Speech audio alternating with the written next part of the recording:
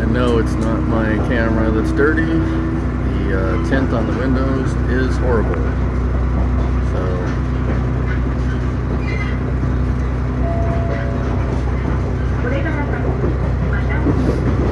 it is currently 7:18 in the morning.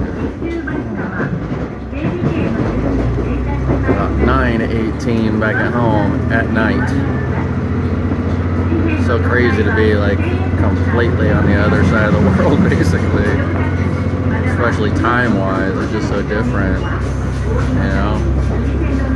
So um, I believe there's just two stops before me.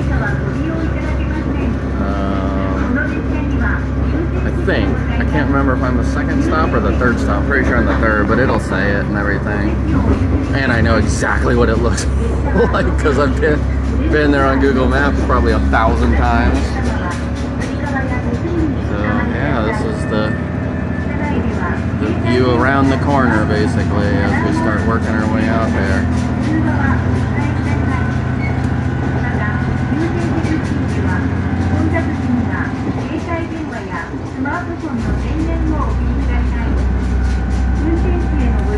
And we follow like the highway for a little while, and then it kind of juts out of it. Oh, so cool to see all the rice fields and everything. I'm so interested to learn how they how they grow and how everybody does it all. And I can't with the food here. It's kind of crazy. Like I, I don't have any clue what anything is, and I've never tried any of these things. So I'm like, I had fruit this morning for breakfast because I had no clue what anything else was, basically. And it's not that I don't want to try it, but for one, I was in a hurry. Um, I had to. Breakfast starts at seven at the hotel, and the train leaves at seven eighteen. So I had to like just run in, grab something real quick, and then just run out. So yeah. All right. So that this is where we split off from the highway.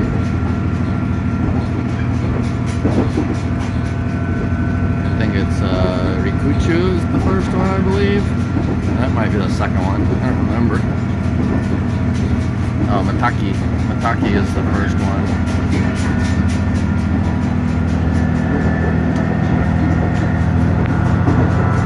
Without that glare. It's hard to see much. I mean, it's smart that they kind of built it up like that so that the train doesn't bother too many people, you know? Lots of solar panels out here, which is cool. One thing that I can't get over is how much water they use in the toilets. Like when you flush the toilet, it flushes for like 30 seconds straight, and it's not a small amount of water. I mean, it just goes and goes and goes. And then also with the like the bath, holy cow! I, I don't even know how they get that much water pressure. It's insane how much water comes out and how fast it comes out. Let alone the heat in that hotel. Holy shit! The hot water is insane and it comes immediately. Like, you know how in the States we get like a little bit of cold right before the hot water starts kicking in usually? No, not here. Not here. It's immediate and hot. I bet you that one's abandoned up there. It sure looks like it. Oh, that's a cool, cool little cottage back there right up on the hill by itself.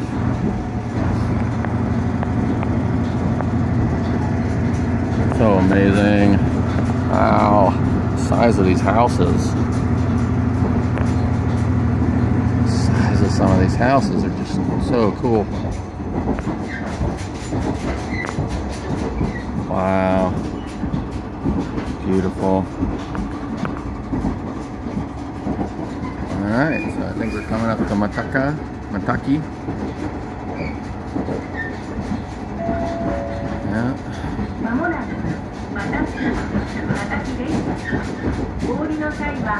yeah, I believe, actually I'm pretty sure I'm the next stop. Let's see, let's see here in just a second.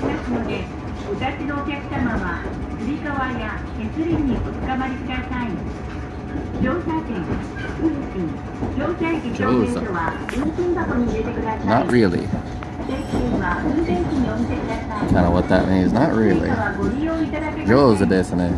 Not really good. Not really that good is kind of what that means. Joza desune. Mataki is the first one.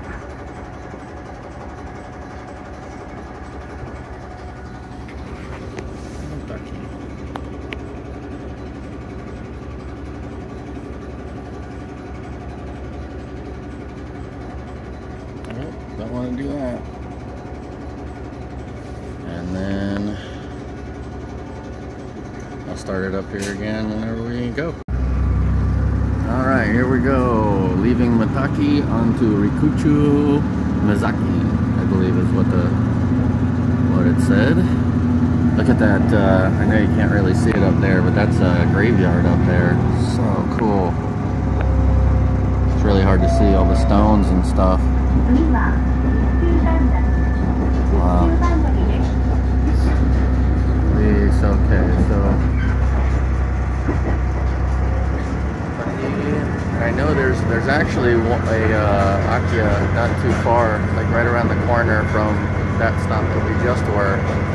Uh, that I might check out. I might check it out. We'll see. Wow, it's beautiful. There's a little storehouse and everything. All right, so yeah, there's one more and then my stop.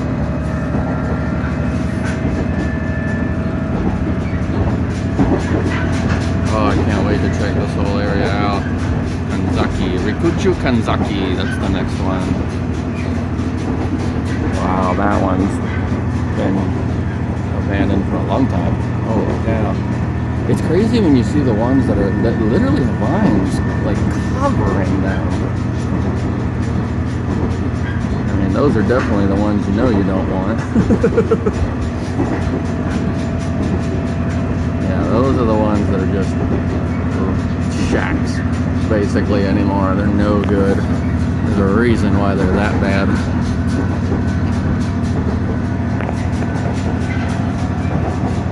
Uh, all you can really see mostly is trees, it seems like.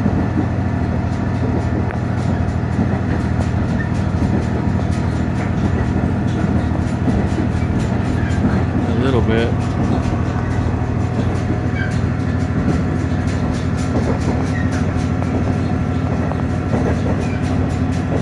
Wow, that's a big one. Wow, that's a big one.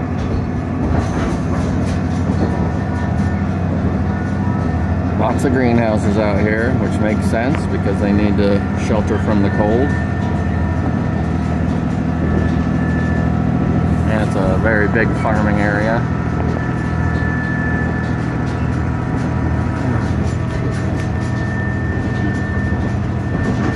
The train trip's a lot longer than I thought it was going to be. I thought it was only like five minutes out of the city. Still not bad. We're about to pull into the second one, so that's three minutes from the other ones. We're talking about 10 minutes total so far. So my guess is going to be another like three minutes to five minutes to the next station. So I mean, five, uh, 15 minute total train ride from in the city to out of the city really isn't bad. Uh, oh wait, I think I actually I think I expected that. That's right, I knew that. I forgot I had worked that out. It's five minutes to the train station, 15 minutes in. That's right. So it was 20 minutes total.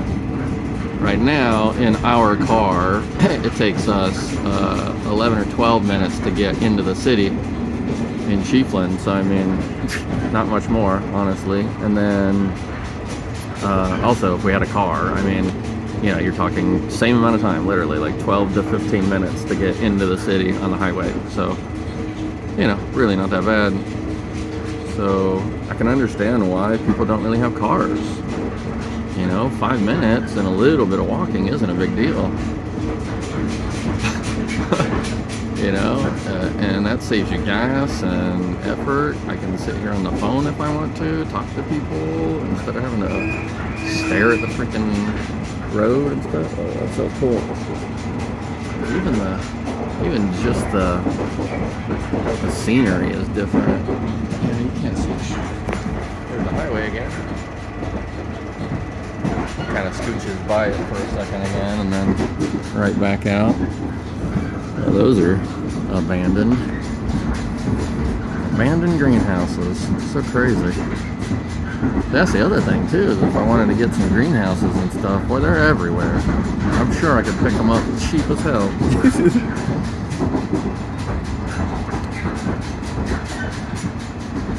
Alright. Yeah, lots of lots of dead foliage from the cold. Makes sense. All these cool little valleys in between all the mountains and stuff. So neat. Getting around the corner and then boom, there's a little little settlement. it's a little baby town basically.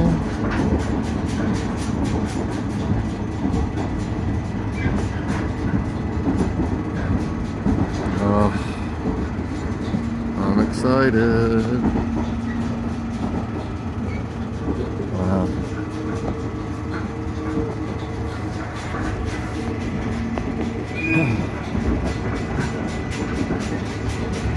Hiking would be amazing out here.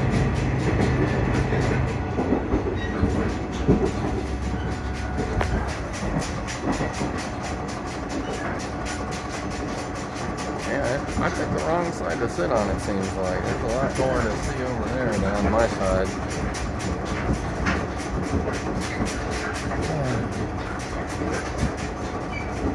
Still mostly trees and forest.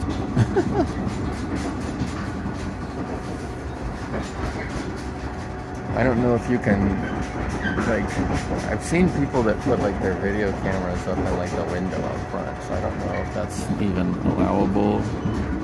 You know, for the most part, you probably have to put like it on, put it on a, you know, like GoPro, stick it on the window kind of thing, because that's where the conductor is, is up there. You know, and I don't think they're gonna want you standing up there. So, one of the rivers. Know which one specifically.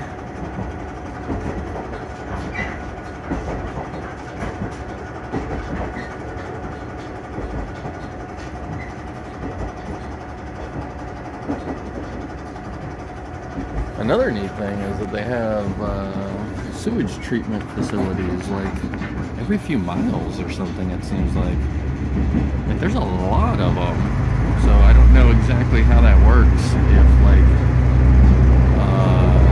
each little community does their own, or going through a tunnel. Another one.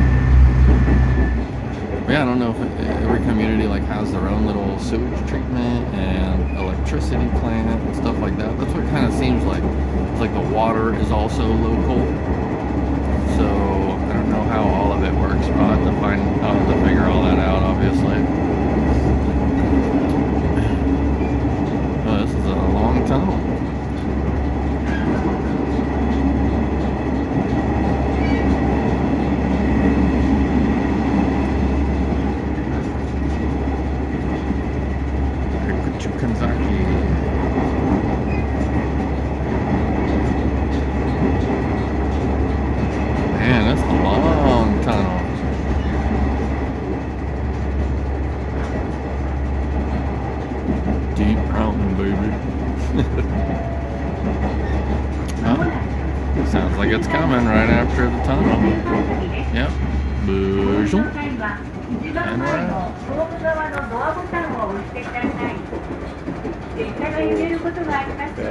Yeah, で that one's お立ちのお definitely 客様は隅側や手すりにおつかまりください乗車券運賃乗車駅証明書は That one even looks abandoned. 定期券は運転士にお見せください Man. 追加はご利用いただけません ドアを閉める際は周りのお客様にご注意くだ So さい this is the The next station Next to is last. Kikuchu Kanzaki. Rikuchu Kanzaki is this one.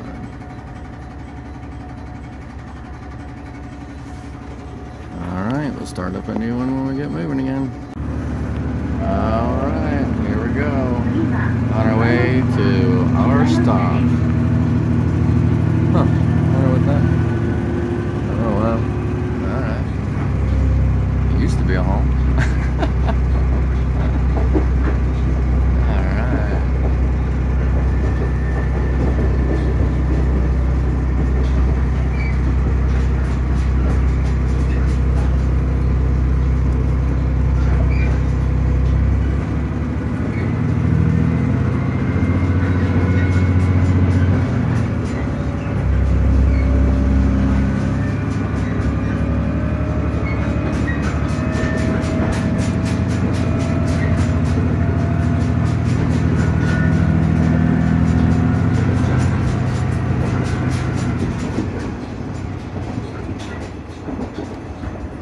Iwanoshita.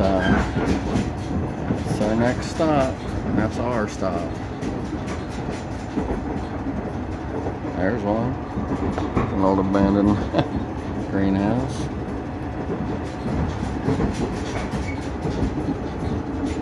There are a lot of abandoned homes. Wow. And they were right too. They said uh, you won't find even uh, 1% of them online. What they said.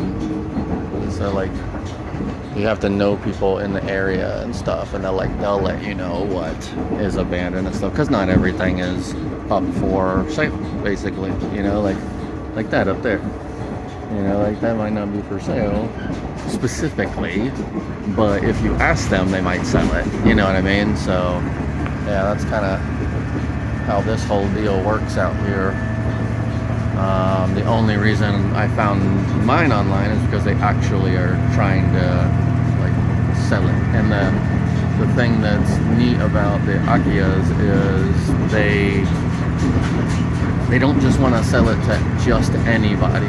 Basically, they're trying to find people that are good fits for the area and uh, you know won't come in and destroy the area or not be part of the community you know stuff like that. So i mean that's that's cool you know that that shows personal responsibility.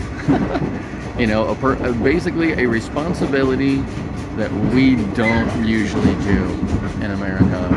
We don't give a crap about that kind of stuff which is kind of ridiculous. Oh wow think that was probably like a family cemetery right next to the house. That's so cool. But yeah we don't we don't do that kind of stuff and we should. We should care more about our communities and the people around us. Um, that's one thing that draws me to this place.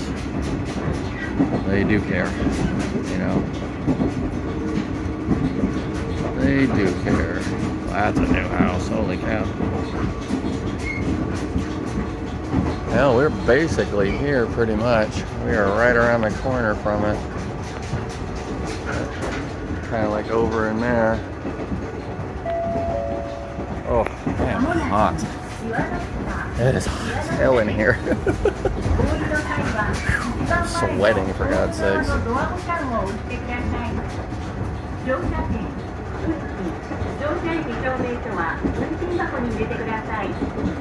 We're here.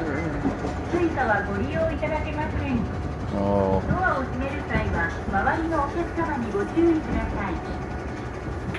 The next station is Iwanoshita. Iwanoshita.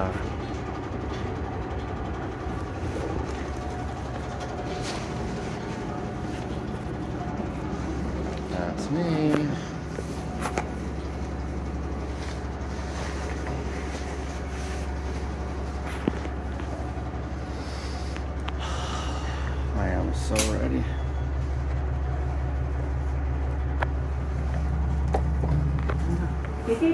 When I get out. Huh? How do I get out? Out, out, out.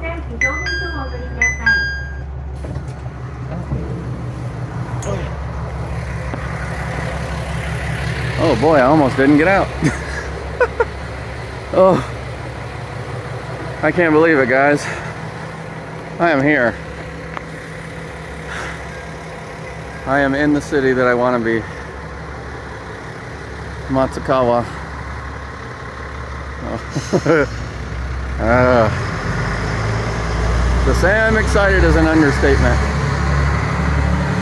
Uh, wow. Wow. So, this is where I am. Right over here is where I'm going.